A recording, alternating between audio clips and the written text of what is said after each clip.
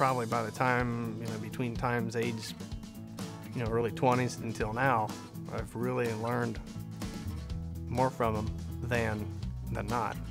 Because I've learned that, wow, you know, he's really sharp, and, and uh, there's no question that he knows what he's doing. And, and in the racing game, he's really been helped us out. And that's probably where, I, I mean, you notice it the most. You notice it in life, and you notice it in everything.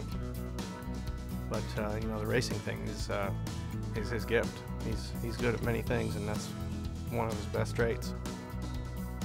Thank him and, and, and my mom and, and, and uh, you know, our whole family for uh, having faith in us and, and uh, you know, doing what they did. And, you know, my dad had a passion on his hot rodding, and I'm thankful that he did because that's my passion.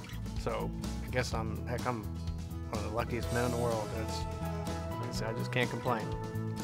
You know, it's been it's been fun.